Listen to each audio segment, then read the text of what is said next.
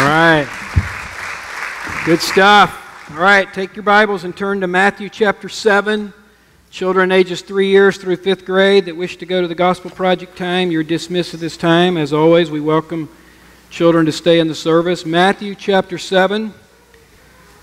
Give a brief introduction, then I'll read the scripture, and then we'll pray. We are in week four of a series called Ignite the Fire. In this series, I'm seeking to share some of the most impactful sermons of my life.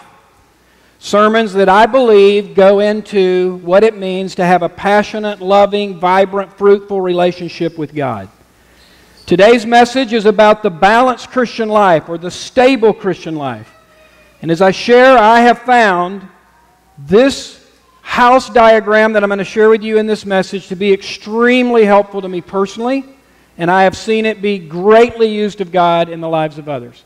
So let's stand together in honor of God's word as I read Matthew chapter 7, beginning at verse 24. Everyone then who hears these words of mine and does them will be like a wise man who built his house on the rock. The rain fell, the floods came, and the winds blew and beat on that house, but it did not fall, because it had been founded on the rock. And everyone who hears these words of mine and does not do them will be like a foolish man who built his house on the sand. The rain fell, the floods came, and the winds blew and beat against that house, and it fell, and great was the fall of it. God, would you now use your word and your spirit to make us the house that is like this house on the rock?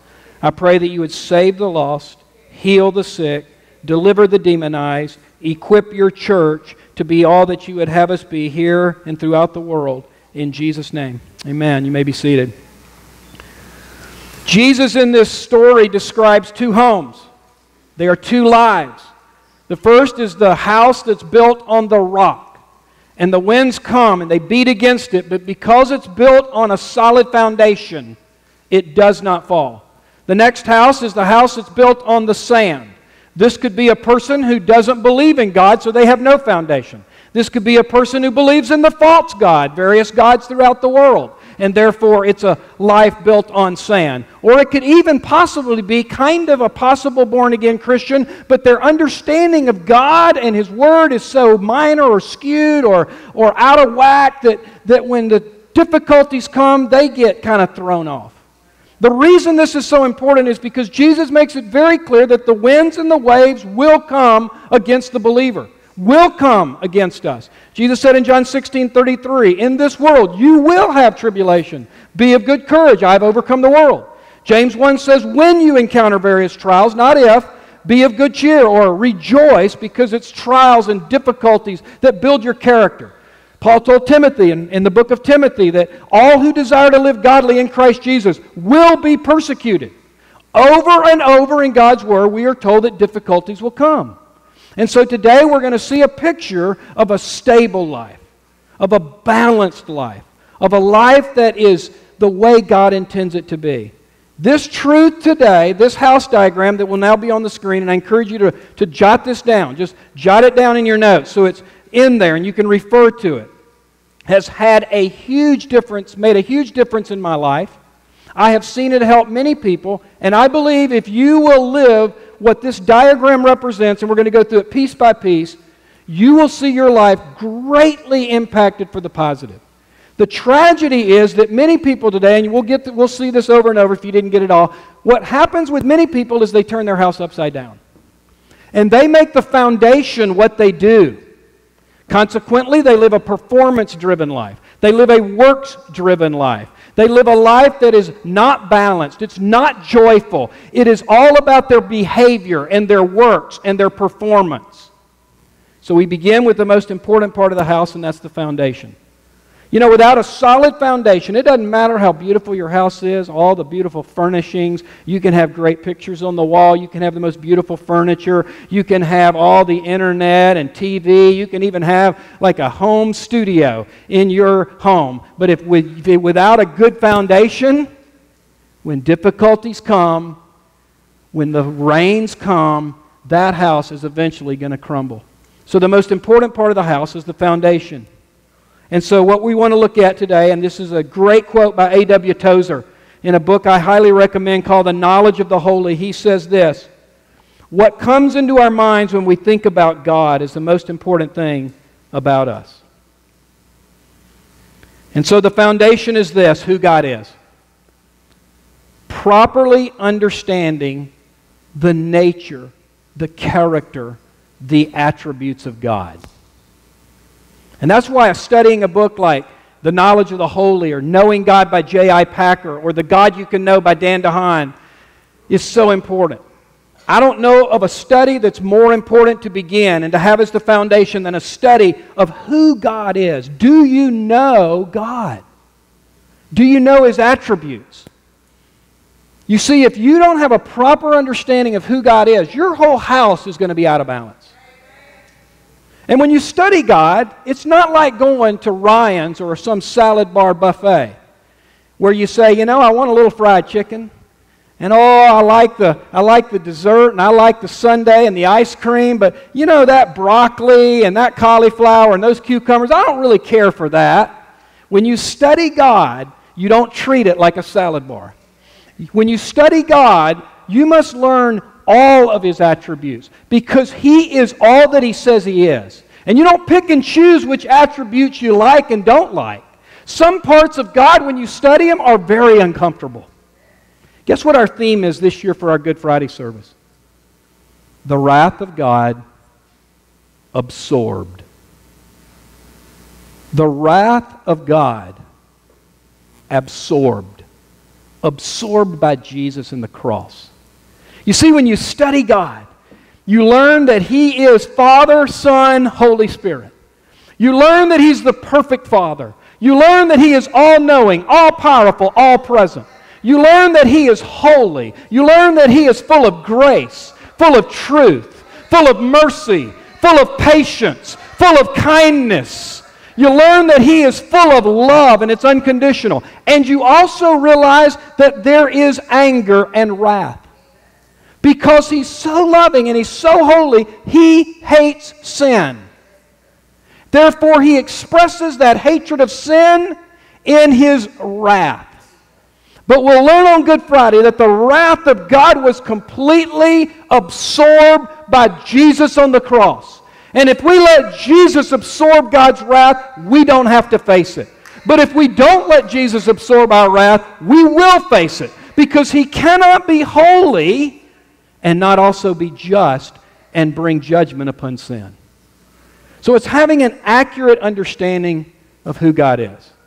In Jeremiah 9, it says, Let not a mighty man boast of his might, let not a rich man boast of his riches, and let not a strong man boast of his strength, but let him who boasts boast of this that he understands and knows me. And that word in the Hebrew is yada. Same word used of a man and woman having sexual relations. It's an intimate, personal knowing God. Do you know him?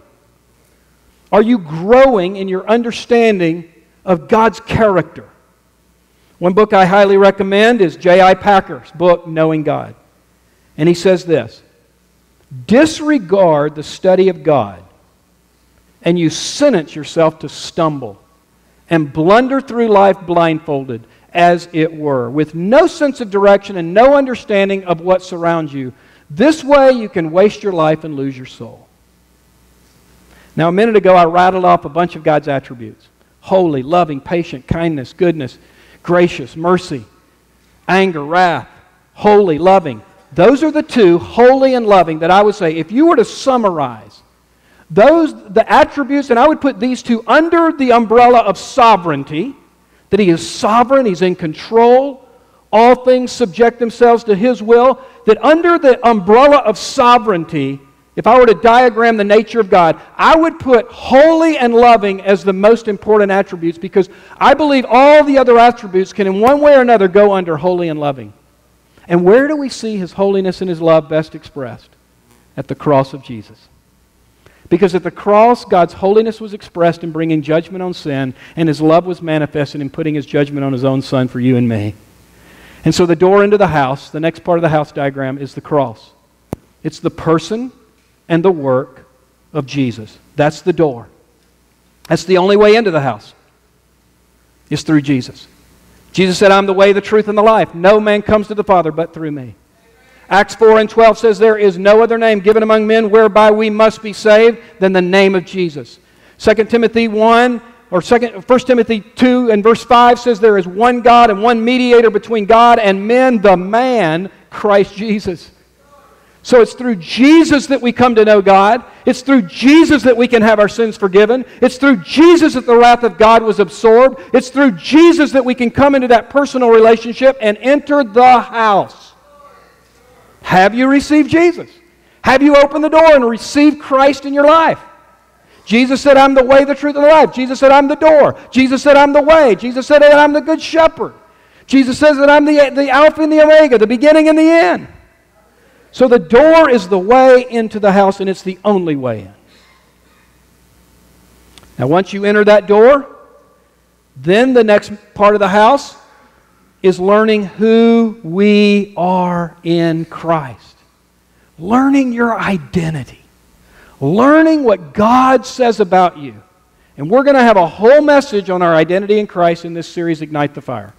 We're going to have a whole message on the fourth piece of the house, which we'll get to in a minute. Because some of these pieces of the house are so important, we're going to devote a whole message to it. So right now, I'm just whetting your appetite. And to do that, I want you to turn to 1 Peter chapter 2. I want you to see in 1 Peter chapter 2, really we have in 1 Peter 2, a biblical defense for the entire house diagram. Because you're going to see mention of who God is. You're going to see mention of who we are in Christ. And you're going to see mention of what we are to do, the roof of the house. And so in 1 Peter chapter 2, beginning at verse 6, it says, For it stands in Scripture, 1 Peter 2 6, Behold, I am laying in Zion a stone, a cornerstone. That's foundation, folks. Chosen and precious. And whoever believes in him, there's the door into the house, believing in Jesus, will not be put to shame. So the honor is for you who believe, but for those who do not believe, there's consequences. The stone that the builders rejected has become the cornerstone, and a stone of stumbling and a rock of offense. If you don't come through this door, if you don't receive Jesus, then Jesus becomes a stumbling block to you. That's not what you want. You want him to be the cornerstone, not a stumbling block. They stumbled because they disobeyed the word, as they were destined to do. Verse 9. Now, we've got the foundation. We've got the door into the house. Now, what does it say? It talks about who we are. You are a chosen race, a royal priesthood, a holy nation, a people for his own possession. That, here's behavior, you may proclaim the excellencies of him who called you out of darkness into his marvelous light. Back to who we are. Once you were not a people, now you are God's people. Once you had not received mercy, now you have received mercy. Then look at this. Beloved, I urge you as sojourners and exiles. Now it's behavior to abstain from the passions of the flesh which wage war against your soul. Here's a behavior statement Keep your conduct among the Gentiles honorable, so that when they speak against you as evildoers, they may see your good deeds and glorify God on the day of visitation. So, what he's saying here is the next part of the house, after you've got the foundation, you're building that foundation. You're strengthening that foundation. You're coming to understand God more and more for who He is, His attributes, His character. Then you know that you're saved. Examine yourself to be sure you're of the faith. Know that you've come through the door of Jesus. Know that you've received Jesus as Lord and Savior. Then the most important thing to do is begin to understand who you are. You have a whole new identity now. When you're in Christ, you have a whole new identity because you have a whole new Father. And when the Bible says that the old things have gone and behold, all things have become new, that's talking about your identity. And we're going to unpack this in a few weeks. But for now, I would just say this it is so crucial that you get your beliefs about yourself from God's Word and what God says about you. Not what the world says about you, not maybe what your authority figure in your past said about you that you had friction with, somebody that said, You're a loser, you're no good, you're ugly, you're dumb, you'll never amount to anything. If you've heard those voices, I'll tell you right now, it's not the voice of your Heavenly Father. He says, You are loved, you are accepted, you are valued, you are holy, you are righteous in Christ, you've received a new nature. You are accepted by me. You're a sojourner and a stranger. You're a child of the living God. That's who you are. Don't let your past define you. Don't let your parents define you. Let God's Word define you. And let God's Word determine your destiny. Who you are in Christ. A book that had a huge impact on me because for a period of time I, I, I had turned my house upside down. I had allowed my behavior to become my foundation. It's interesting in my journey, I got saved my senior year in high school and started off where my focus was a lot of, of the progress of, that you see in this house.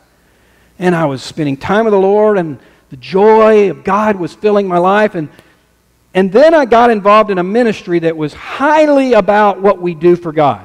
And it had good intentions, so it's no fault of the ministry. But what it did in my life is, is I began to live a performance oriented life. And I began to get my identity from what I did for God instead of who I was in Christ.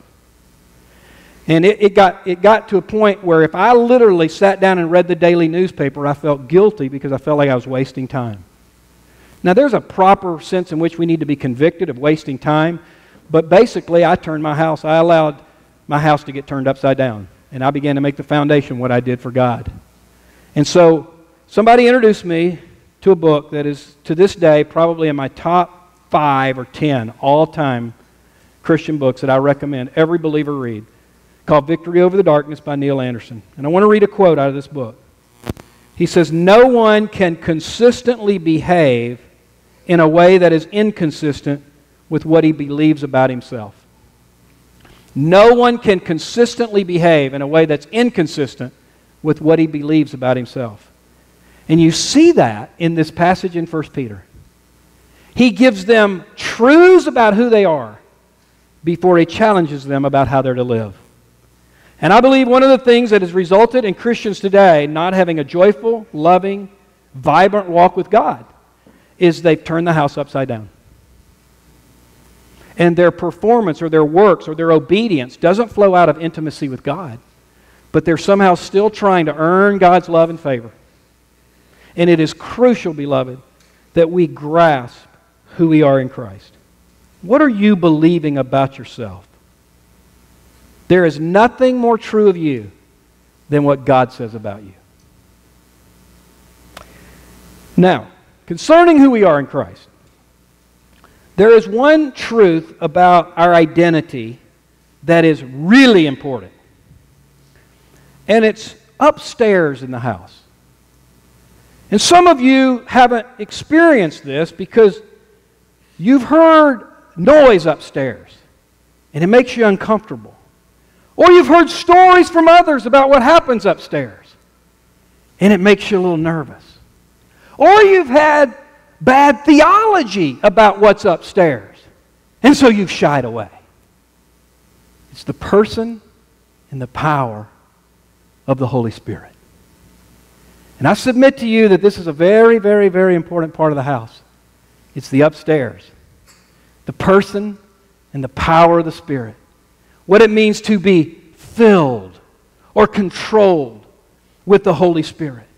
And once again, this is so important, we're going to devote a whole message to it. I think it might even be next week. I'm not sure, Jeff, I haven't looked at the preaching schedule lately. I think it might be next week. If it is, you don't want to miss it. What it means to be filled with the Holy Spirit. And let me remind you, church, the Holy Spirit is still the third member of the Trinity. The Trinity is not Father, Son, Holy Bible. The Trinity is Father, Son, Holy Spirit. And you and I cannot live the Christian life without the power and presence of the Holy Spirit. And He's a good Spirit. You don't need to be afraid of Him. You don't need to allow some of the people that have maybe misused Him or had bad theology about Him or said things to you about what it means to be filled that aren't necessarily true. You don't need to let those things scare you you can open yourself up to the Holy Spirit because the Holy Spirit is good and He's a gentle dove and He wants to empower your life to live for Jesus. And so we'll unpack that. But just for now, I will say Jesus, for a reason, said to the disciples, Wait. Wait until you're empowered with the Spirit before you begin to try to even live for me. In Ephesians 5:18, all Christians are commanded, be not drunk with wine, but be filled with the Spirit, moment by moment, day by day. In Acts 1 and 8, it says, You will receive power when the Spirit's come upon you, and you shall be my witnesses. Philippians 4 and 13 says, I can do all things through Christ who strengthens me. And that strength comes from the Holy Spirit. I want to have you turn to one verse real quick 2 Corinthians 3 and 18. Once again, another passage that supports this house diagram. Actually, beginning in verse 17. 2 Corinthians 3 17. Look at how this supports the house diagram. 2 Corinthians 3 and 17. Now the Lord is the Spirit. And where the Spirit of the Lord is, there is bondage and heaviness and, no, no, freedom. I love the freedom that I see in this church in worship. And it's not to be a show, it's not saying that you're more spiritual if you lift your hands. But I'll tell you, God wants to set us free. And He says to love Him with all our heart, soul, mind, and strength. I happen to believe that your body should be involved in worship. That doesn't mean, again, that you can, if your heart's right, you can worship better sitting on your hands. But I just think when the Spirit of the Lord gets a hold of you, often you'll want to do this and you'll want to say, God, I just want to love you. I reach out to my daddy. I just, it's a sign of surrender. You know, if somebody sticks a gun to your back, what do you do? You lift up your hands. it's a sign of surrender. It's a sign of love. It's a sign of reaching out to the Father. But where the Spirit of the Lord is, there's freedom. And then look at this. And we all with unveiled face. That means you're seeing clearly. There's no veil in front of you. Beholding the glory of the Lord. That's the foundation of the house. Beholding the glory of the Lord. Glory means to fully reveal his character and his likeness. Glory represents all of his attributes. So you're beholding the glory of the Lord. And then what happens? You're being, that's a passive verb. It doesn't mean you don't do anything, but it means the active agent does the most of the work, and that is who? The Holy Spirit. You are being transformed into the same image from one degree of glory to another, and that comes from the Lord who is the Spirit.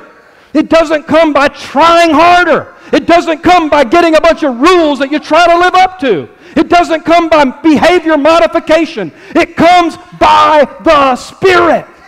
That's how you're transformed. Some of you aren't being transformed very well because you're not yielding to the Holy Spirit. You're trying to do it on your own. You're gutting it out. You're living by rules. You're a legalistic Pharisee. And it doesn't work, and you're tired of it, and you should be, because that's not the way God intended it to work. It's the Holy Spirit living in you and through you. It's the exchange life. It's Galatians 2:20.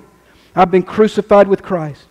Nevertheless, I live, yet not I, but Christ lives in me.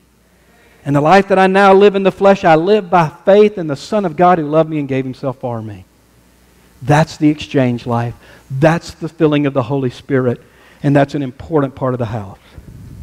Now, we get to the roof.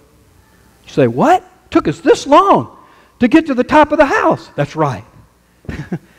Because when the other stuff's happening the way God intended it to, usually the roof pretty much takes care of itself.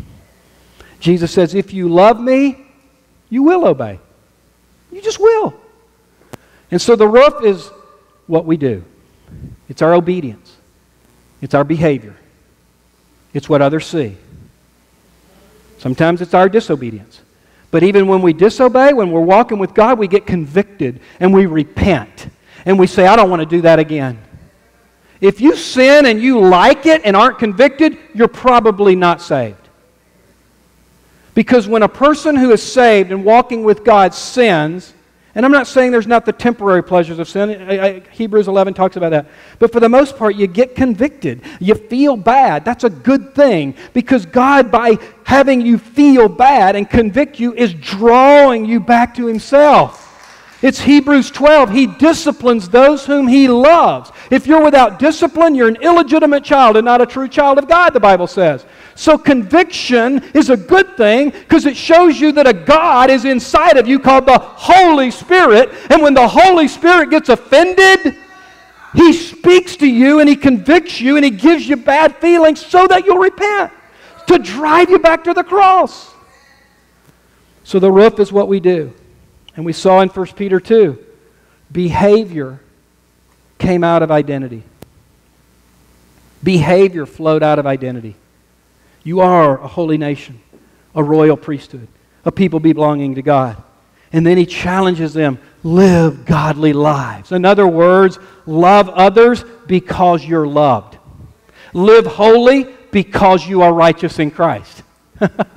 Forgive others because you've been forgiven. Show grace to others because you've been shown grace.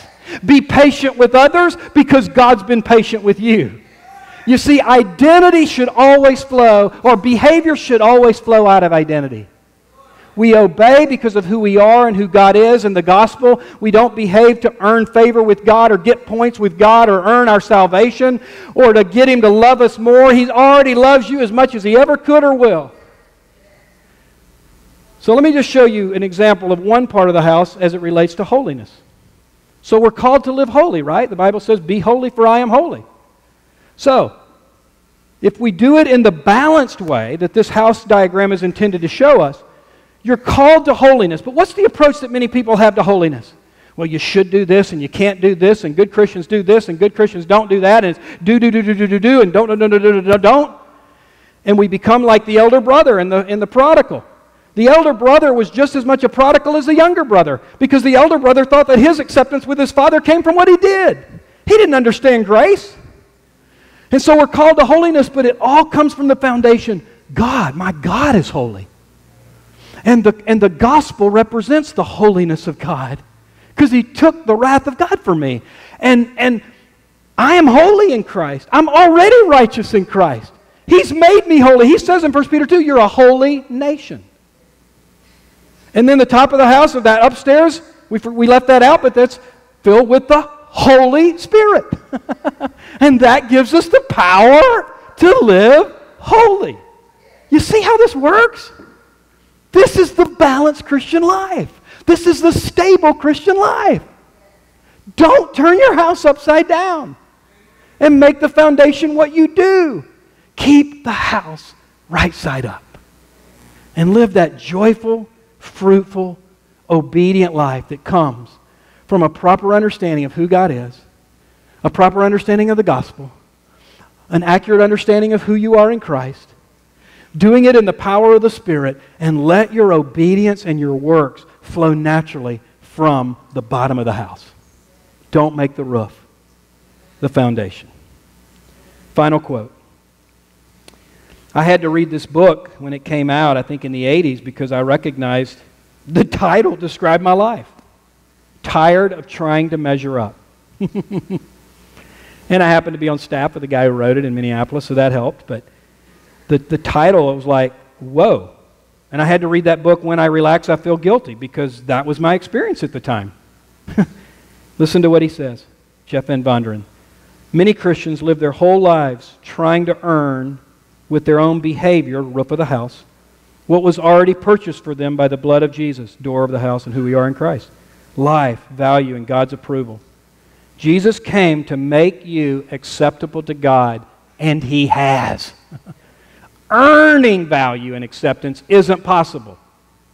Thankfully, it's already been given to us by God's grace through Christ's performance. Amen. Isn't that good? And if that really resonates with you today, I encourage you to, to get that book. Get Victory Over the Darkness. One other thing, and then I think we'll have time for a few questions. I have found this house diagram to be extremely practical when I spend time with God, which I spoke about last week. The importance of seeking God, the importance of having a time every day that you're in the Word and prayer. So, one of the ways that I often will approach Scripture when I'm meditating on Scripture, I don't do this every day, but particularly a passage that seems to lend itself to this, I'll do this. I'll say, What does this passage teach me about who God is? What does this passage teach me about the gospel? What does this passage teach me about who I am in Christ? Now, not every scripture has something for all of those, but you might be surprised how many do. What does this passage teach me about the indwelling Christ? And then I'll ask, what does this passage teach me about what I should do? All right. Where are you at today? Do you know God? How's your foundation? Have you come through the door of Jesus? Are you born again? Are you saved? Do you know you have a relationship with God through Jesus Christ? Do you know your identity? Are you growing in your understanding of who you are in Christ? Are you filled with the Holy Spirit? Is your obedience flowing out of a love relationship with God? You see, I think we could probably all identify one part of the house, at least one part of the house, that might need some attention. Where is your house the most stable? And where does your house need a little remodeling? that you might experience the balanced, stable Christian life. Let me pray for us, and then we'll open it up to a few questions. Identify right now what part of your house God would want you to give some more attention to.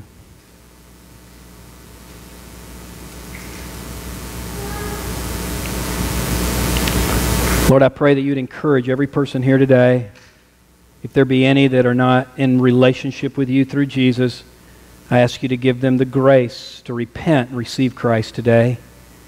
And I pray for every believer here that you would show them specifically what areas of their house might need some attention. And I pray this week would be one of the most encouraging, joyful, fruitful weeks they've ever experienced because they begin to get their house in balance. In Jesus' name, amen. Shannon and Jimmy.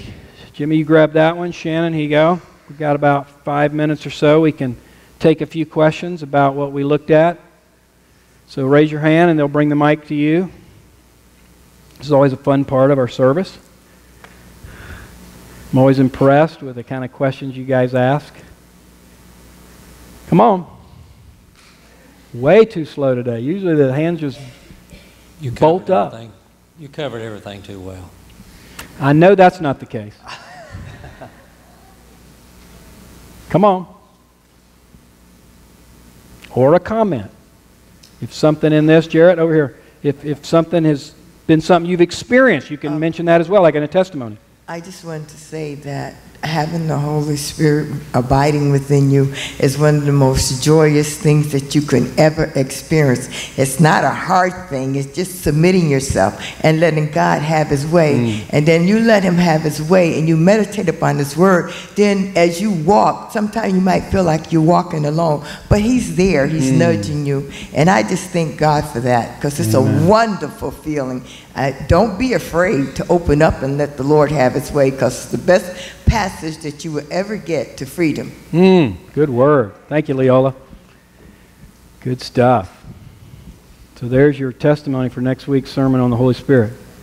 This may be a, a very vague question, but I'm just wondering how do we, like, how could we go day to day, like, actually making sure we're focusing on the foundation and in Christ when that's influence and feeling being filled in what we do? Does that really come? Do you think that comes through like spending quality time with God, or constantly reminding ourselves of Scripture when we're going to do something, or just is that a daily thing that we need to do? And how do we like keep that foundation forefront in our heart and mind to where we actually do live out of that? Yes, yes, yes, yes, yes. It is all of those. Um, I, uh, I believe God gives our emotions sometimes as a signal as to whether or not we're living it like we should. Now, this, there's exceptions to this, so don't, make, don't, don't take this as our feelings are always the barometer. But often, I think our feelings are. You know, think about the fruit of the Spirit. Some of those are very emotional oriented love, joy, peace, patience, kindness. I mean, a lot of those have emotion in them. So if you're finding yourself throughout the day not experiencing love, joy, and peace, let's just take those three, then it might be a signal. It's like the blinking light on the dashboard of your car. Lift up the hood, something needs attention. And lift up the hood and just, and just meditate on the, on the house diagram. Take a moment and just think about who God is and let that lead to worship.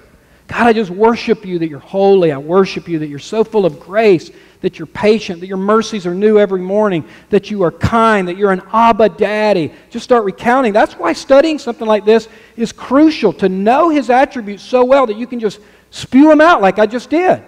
And so that as you worship Him for those attributes and recount them to yourself, that goes from your mind to your spirit. Sometimes you have to talk yourself into believing. I don't, that sounded weird. But you know what I mean? I mean, speak the truth to yourself. That's what I meant to say. Speak the truth to yourself, and it'll find its way to your emotions. It will. It just works that way.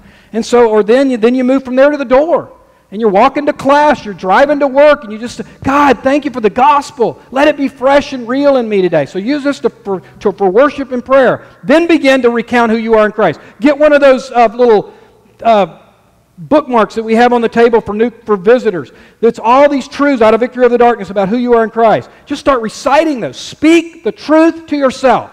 It'll drive the enemy away. It'll invite the presence of God, and it'll, it'll help you believe the truth. Sometimes we have to speak truth to ourselves. Martin Luther said, Preach the gospel to yourself every day. Then begin to go to the top of the upstairs. God, fill me afresh with your spirit today. I'm down. I'm discouraged. I'm struggling. Just fill me. Take over, Lord. So that's how I would say you could use that in a very practical way. Yes? David, what do you think um, in the church today, and maybe even particularly at different generational levels are some gaps that we have in our understanding of God and Oh. His attributes. Huge gaps because, um, yeah, you talk to a Ralph and Levon Motzinger, and I'll bet you they would tell you that years ago, all the churches preached pretty accurately about the character of God. Now, oh my goodness, look how far we've drifted. You know, it's greasy grace, it's God accepts everything, and holiness has just been thrown right out. And so I think it is. I think we're living in a culture where not only the world is feeding lies to us about God, well, all roads lead to God, everybody's the same. Hindu God, Muslim God, Buddhist God, Christian God, they're all the same. No, they're not. Jesus said, I'm the way, the truth, and the life. No one comes to the Father but through me. So we got that in our world. We got the devil, of course, and he's playing on all this. Then we've even got many churches that aren't even preaching the whole counsel of God, and they're shying away from uncomfortable things. I mean, our topic on Good Friday, the wrath of God, that probably seems so radical to a lot of people today. You want do do a search, wrath of God. Go to Blue Letter Bible, which is the app I encourage you all to have on your phone. It's free. Blue Letter, and just do a search, wrath. Oh my goodness, you're going to run headlong and after headlong after headlong into so many verses, Old Testament and New Testament. You know, something, well, God of wrath, that's the Old Testament. God of love in the New Testament. He's not changed. The difference is the cross absorbed his wrath for you and me. But if you don't come through the cross, then you will get his wrath. That's what the Bible says. There is a real hell. The Bible speaks of it. But yet, so many shy away from it. So I think all of that plays into this, this whole foundation piece is so important and it's so crucial that you get it right. That you go to the Word for your beliefs about God, not from culture and unfortunately not from some churches. And that's why you get those sermon notes every week. Don't believe it because David says it. You go to the Word. You're not going to stand before the Lord one day and have to give an account for David's preaching except that which came from God's Word. So you're accountable to the Word of God. Go back to the Scripture so that your beliefs and your convictions are based upon His infallible, inerrant Word. And aren't you glad we have His Word? Aren't, aren't you glad we have His Word? Amen. His word is settled in heaven, the Bible says. The sum of thy word is truth. All scripture is inspired by God and profitable for teaching, reproof, correction, training in righteousness. One more. Um, you know, I think one of the biggest lies the enemy hits us with as believers is what it means to be in Christ, who we really are, Yep. Especially as it relates to, you know, past sins and, and receiving forgiveness Yes. for past sins. Yes. Send us in that. Talk about that for a second. Oh, what it can man. And that's why we're going to devote a whole message to identity because it's so crucial. So many get their beliefs about themselves from all kinds of sources that aren't the final source. And, and I think you touched on a huge one. Beloved, if you have sinned, and we all have, we all have things that we feel horrible about today. Whether you did it last night, last week, last year, or last decade. If you repent, that means to turn from it. You're not just asking forgiveness so you can kind of, oh, got that dealt with, now I can go do it again. That's not repentance. If you repent of your sin, you're truly, it's, it's the sorrow that leads to repentance, Corinthians says. Corinthians talks about two kinds of sorrows. There's a sorrow, that's you felt bad because you got caught. but true godly sorrow is you felt bad because you did it and you offended a holy God and you truly want to change and you cry out and you go to the cross and you confess it. 1 John 1 9 says, If we confess our sins, He is faithful and just to forgive us of our sins and cleanse us of all unrighteousness. If you repent and confess, it is forgiven, it is thrown in the lake where there's a no fishing sign. he says he cast your sins into the sea. And it also says he remembers them no more. You say, how can God not remember our sins? But he's all knowing. He chooses to not bring it back up against you because it was paid for at the cross. And that's why 2 Corinthians 5 and 21 can say, God made him who knew no sin to be sin on our behalf, that we might become the righteousness of God in him.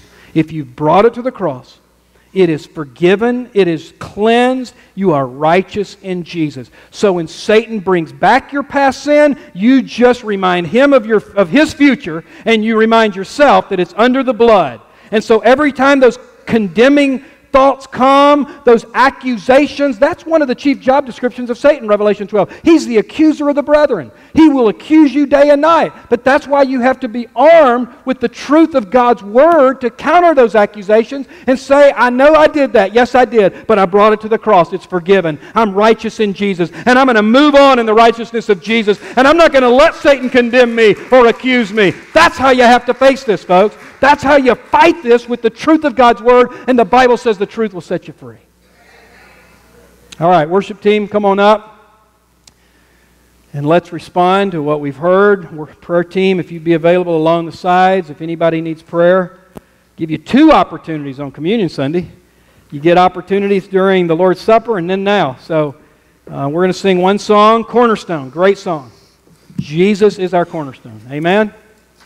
So let's worship Him with all our heart, soul, mind, and strength. Get prayer if you need it. Somebody along the sides, or maybe you're sitting next to somebody or somebody across the room that you trust to pray for you. You don't have to just go to the prayer team, go to anybody that you, that you trust. Let's be a praying people. Don't leave with a burden that someone could help pray for you about and have it taken off your shoulder. Cast all your cares on Him. He cares for you. Let's be a church that loves one another, supports one another. Let's be a church that's open and transparent properly about our struggles. Let's be a church where we can say, you know, I'm heavy today, or I feel like God's saying something to me through this message, but I can't really identify what it is. Would you just pray that I'd have clarity? Whatever the need, get prayer. Let's stand together.